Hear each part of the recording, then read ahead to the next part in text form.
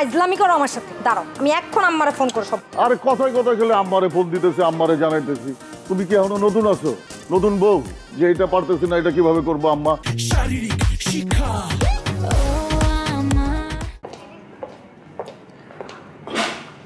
Hello ভাবি।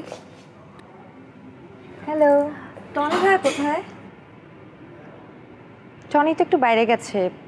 কেন? টনিকে তোমার কি দরকার? আপনি তো জানেন সামনে আমার বিয়ে। আর বিয়ের জন্য আমার একটা ভালো ক্যাটারিং লাগবে যে অনেক লোকের ফুড ইজিলি অর্ডার নিতে পারবে। হ্যাঁ এখন টনি ভাইয়া তো অনেক লোকজনের সাথে ভালো পরিচয়।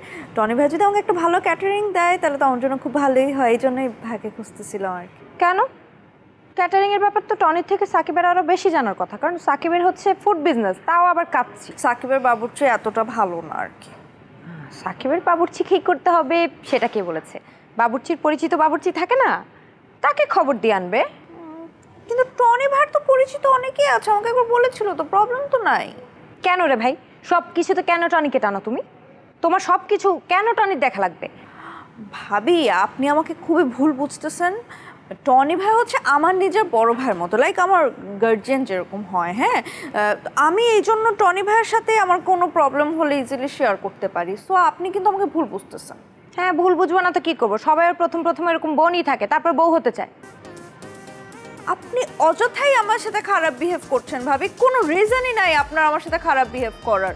যাই হোক আপনার সাথে আমি আর কথা বাড়াতে চাই না? না কথা বাড়াবা না কেন? আর কেন তোমার সাথে আমি খারাপ বিহেভ করব না? বলো তুমি সব কিছুতে কেন টনিকে টানো? সাকিব থাকার পরও তুমি টনিকে দিয়ে সব কাজ কেন করাও? সব কিছুতে তোমার টনিকে কেন খোঁজা লাগে? কই আমি তো সাকিবকে খুঁজি না। আমি তো টনিকে ছাড়া সাকিবকে যাই বলি না ভাই আমার এটা করে দাও ওটা করে দাও এটা করে দাও ওটা করে দাও আমার এটা প্রয়োজন সেটা প্রয়োজন। তাহলে তোমাদের কেন এত টনিকে প্রয়োজন হয়? ও মাই গড আসলে আমি টনি ভাইয়ের দুঃখটা বুঝতে পারছি। আপনি এত ঝগড়াটে? এনিওয়ে আমার বিয়ের দাওয়াত রইল আপনার ইচ্ছা হলে এসেন ইচ্ছা না হলে এসেন না। আর যদি আপনি নাও আসেন কোনো সমস্যা নেই। আমি আমার বিয়ের কাছিটা টনি ভাইয়ের হাত দিয়ে পাঠা দিই।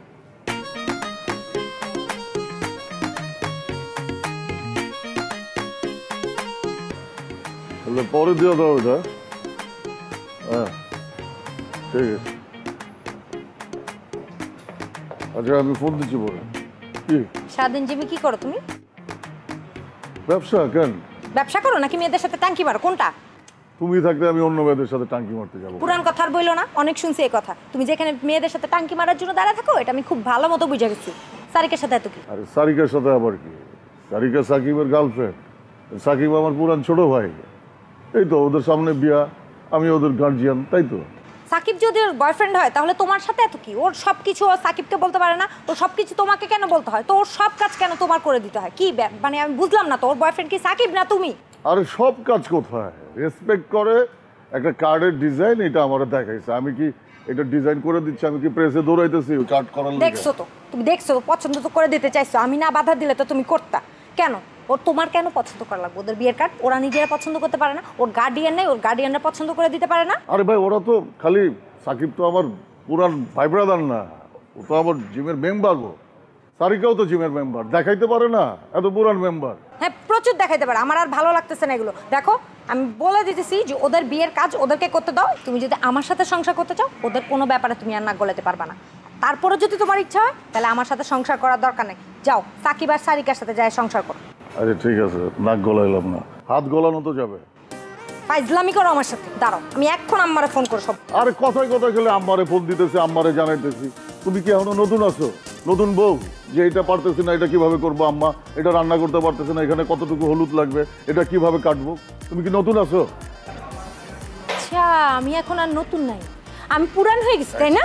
তোমারে না আমি বুঝাইতে পারব না। তোমারে কিছু কইলেই তুমি উল্টা বুঝো। তোমারে বুঝানোর সাধ্য আমার নাই। যেমন তোমার মারে বোঝানোর সাধ্য তোমার বাপের ছিল না। আমার যেমন তোমারে নাই। তোমার মায়েরাও তোমার জামাই বুঝাইতে পারবে না। তার মায়েরাও তার জামাই বুঝাইতে পারব না। এটাই রিয়ালিটি এটাই চলতে থাকব এটাই চলে আইতেছে। এত কথা আমার শোনার দরকার নেই। তোমাকে যা বলছি তুমি তাই করবা। তুমি এখন থেকে সারাক্ষণ এই জিমে বসে থাকবা না। আমাকে দায়িত্ব দিছো আমি সব দায়িত্ব পালন করব। তুমি বেশিক্ষণ থাকবা না এই জিমের কই থাকব কি করব? না এখন চলো এদিকে ওদিকে না ঘোরাঘুরি করে অফিস রুমে চুপ করে বসে থাকবা। আমি না বলা পর্যন্ত তুমি অফিস রুম থেকে বের হবে না